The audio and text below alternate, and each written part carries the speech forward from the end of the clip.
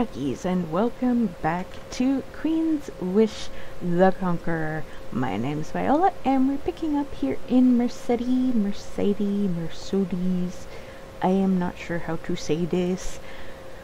After having explored the entirety of the town, um, and we're still trying to investigate the rest of the trench town here, see what's going on. In the back of the workshop, you find a small forge. An elderly woman is doing a bit of intricate work, repairing a long, thin blade. What gets your attention is that the blade isn't metal. It's one of the glowing rune blades of the Ariel. She runs her hammer along the blade in long, careful strokes, shaping the energy. She hasn't noticed you. It is incredibly delicate work. Hmm. You get closer to the smith. You watch the slow, elaborate process of, the shape, of shaping the crystal blades. Her concentration is intense. Sometimes she mutters a little spell. Eventually, she sets the repaired blade aside and reaches for another. Then she sees you. Oh, a distraction. A Havenite, yes? I am Smith Sybil? Sybil? Sybil?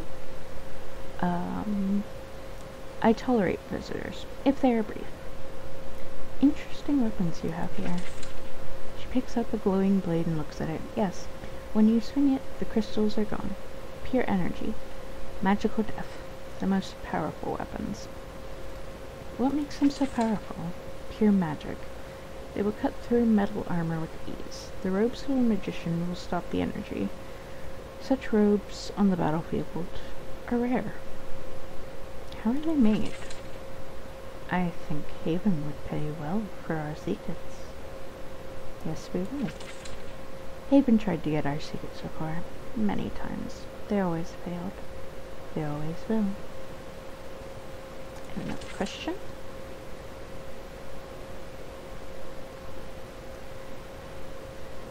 Um, tell me about Mercedes. This is a town. I am left to do my work. I am not blessed. I am trench folk. I don't care.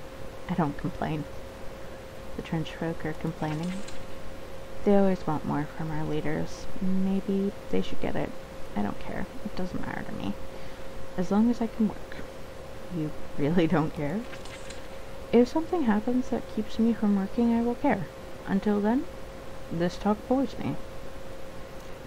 I would like one of your weapons you can with the Watcher's permission. I don't sell my own work. I am not a merchant. Go to Rosler's Hall. She will take your coin. Do you ever do custom work? First, you build mm, Ysbal is going to snap at you. Then something stops her. Custom. She looks at you. You're the Havenite. You travel all around Sacrament. I do travel.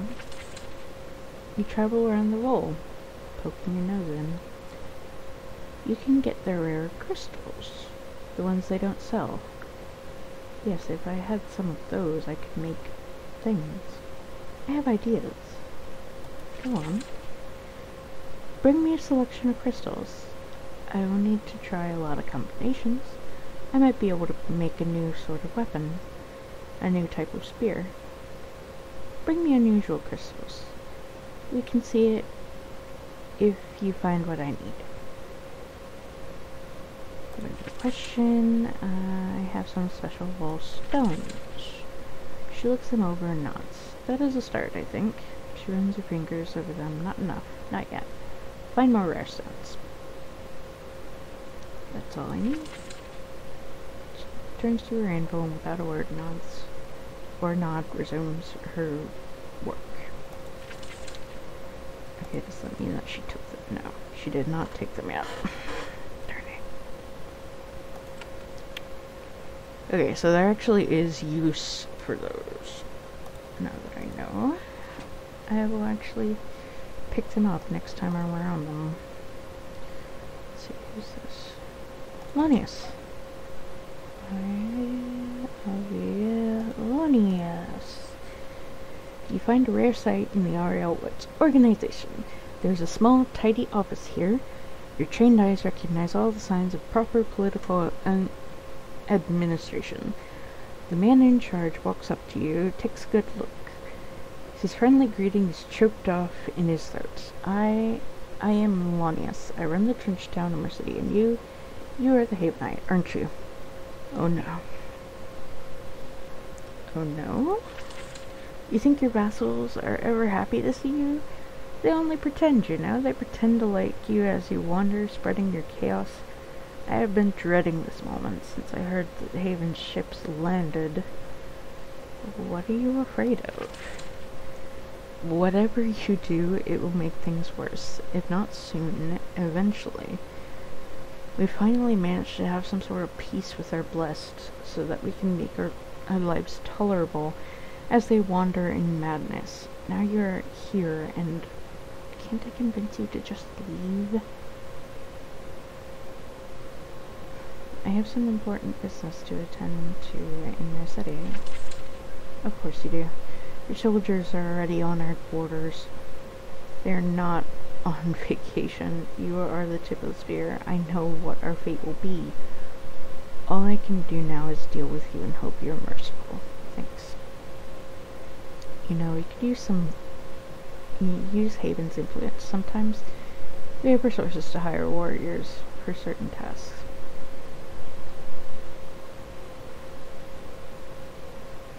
Mm, so what do you do here? I run the trench town. The regular people, the trench folks of the Ariel, they come to me with their needs and problems. I help them as best I can with what few resources the blessed give me. What sort of problems do you have? He slumps in his chair and sighs. Our woods are full of magic. It keeps us safe. It also calls monsters. Hides brigands, warps beasts, and summons mirelings.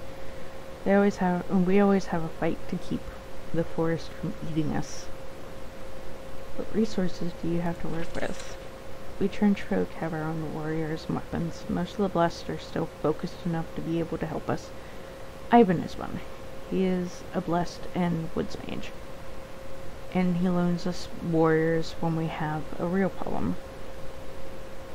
We can keep ourselves safe from monsters. The hard part is staying safe from the blessed. And how do you deal with the blessed? They aren't focused. They keep wandering off. That is the best case. They cause the most harm when they try to help. That is why I dreaded your coming. You only draw the attention of the lust. Then, once you are gone, they will look at us. It sounds very difficult to be Ariel. Melania sniffs offended. Don't be mistaken, Havenite. The Ariel are a superior people in a superior land. We have our little problems, but the crudest, poorest of us lives like anyone else's lord. A question? You sometimes hire outsiders to help you. Yes, the blessed are generous enough to give me resources to hire warriors to clean up particularly nasty messes.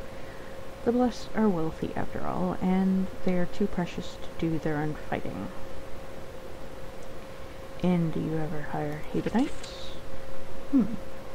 Perhaps, if I thought I had something you could use. However, you don't have a fort near here. Fort Mist has not been rebuilt. If it was, we could trade. Okay, so I need to rebuild Fort Mist. Which is there. Oh. That's where I was going towards. Let's see if we can go do that quick.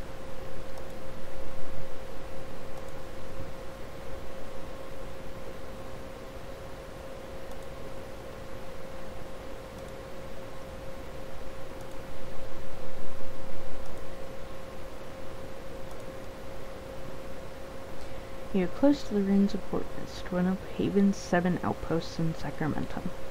The fort is a port at the north end of the Ariel Woods. It provides a place for trading, mm, for trade and carousing, safe from the unpredictable and dangerous forest that surrounds it. Now this ruin is ready to be rebuilt and become a refuge once again. Happily, General Toru has made this possible. You see the fires of Haven soldiers on the south side of the fort. The Ariel signed a treaty giving this land to Haven. Loyal soldiers, workers, and materials have been landed here. All they need is the command to get to work. But at the same time.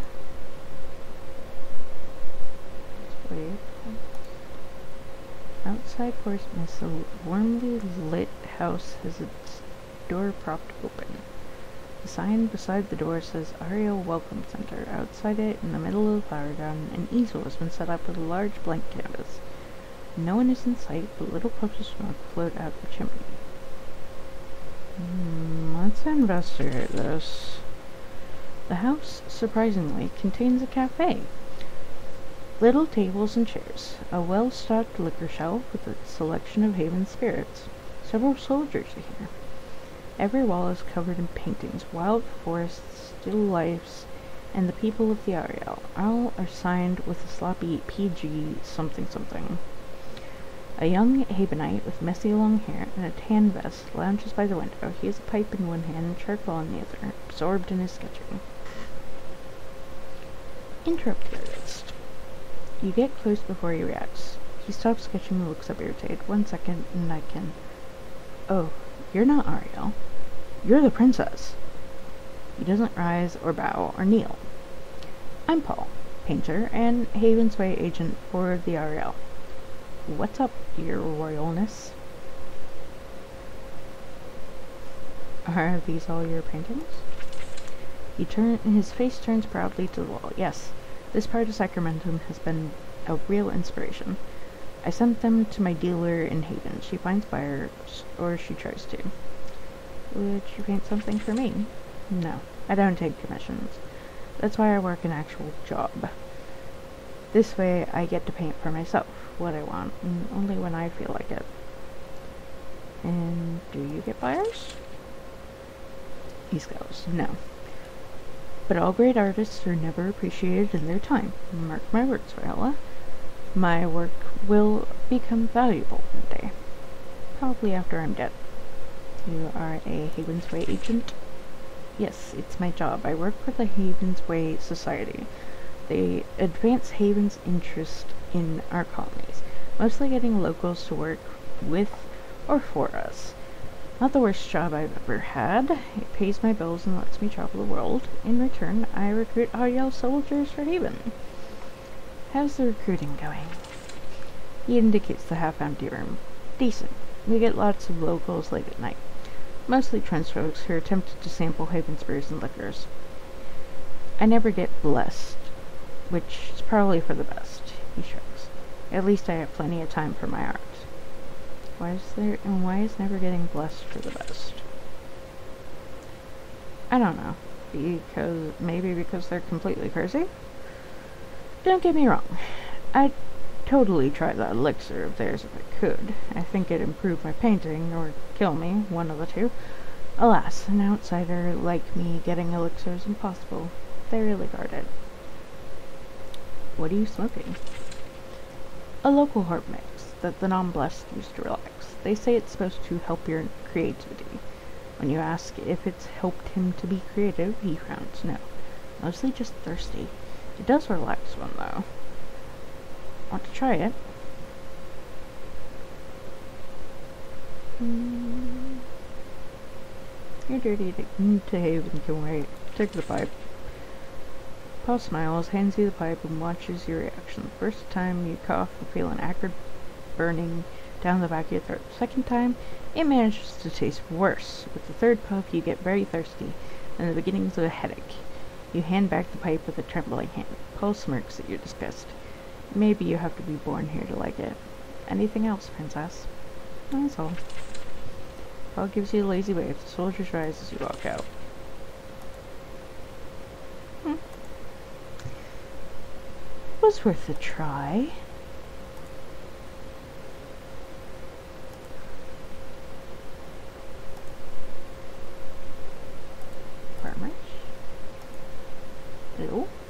Magic infused Ariel lens, taken up much more tangible form. Uh, zombies. Shades. Sorry, not zombies. There could be zombies. Should could be shady zombies.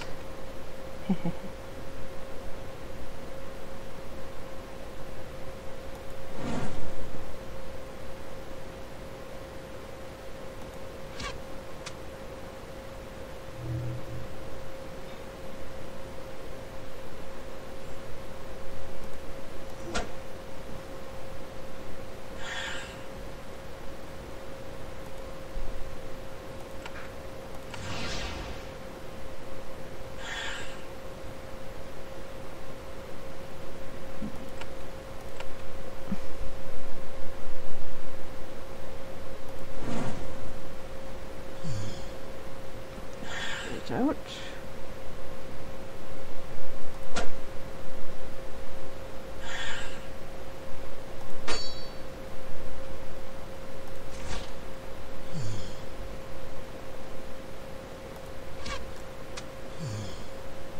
Banshee.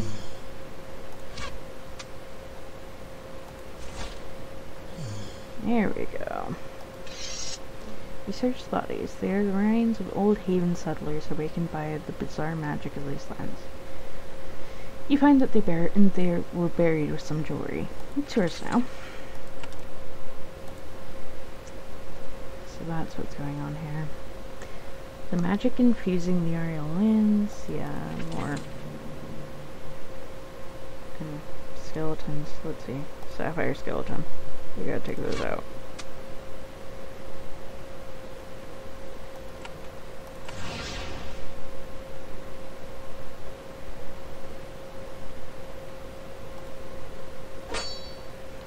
normal skeletons are fairly easy to deal with. Sapphire skeletons, they're the magic ones. Sapphire, ruby, anything like that. Magic skeletons. We don't want magic skeletons.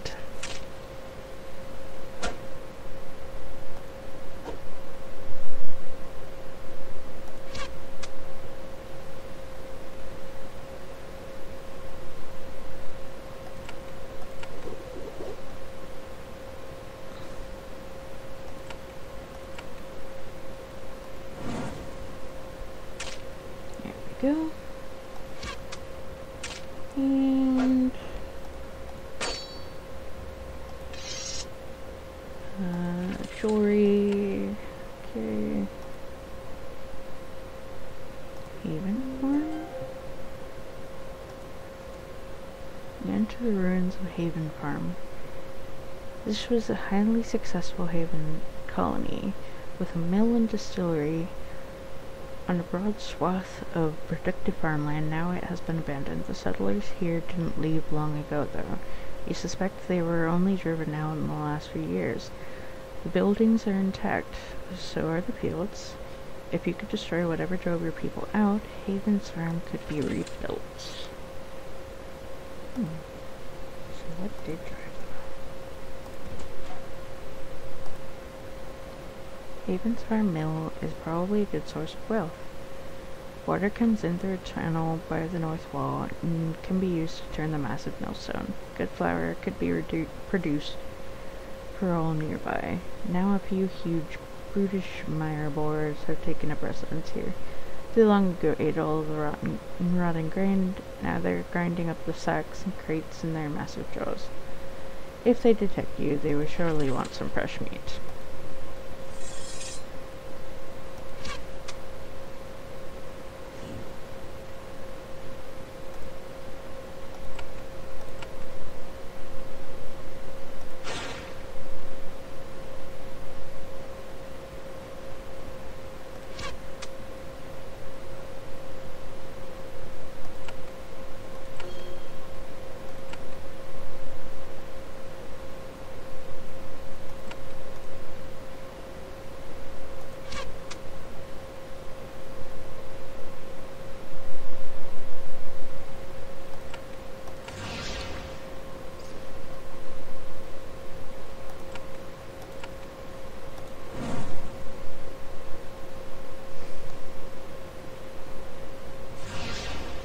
Oh boy.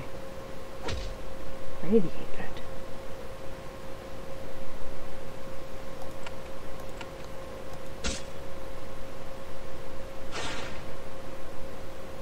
Okay, so we should have been taking care of that one. I was not aware. Ugh.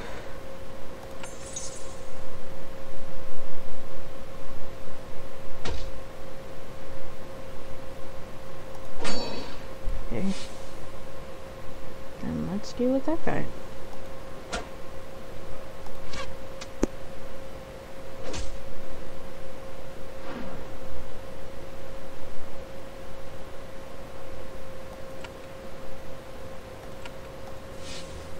There we go.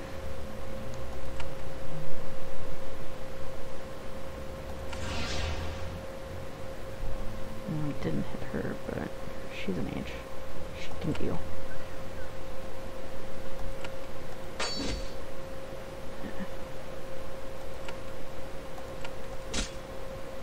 There we go.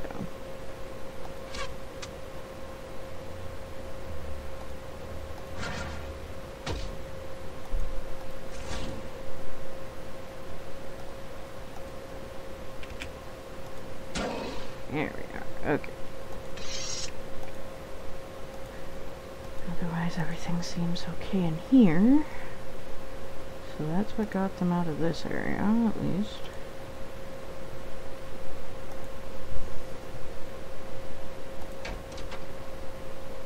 We probably should have gotten our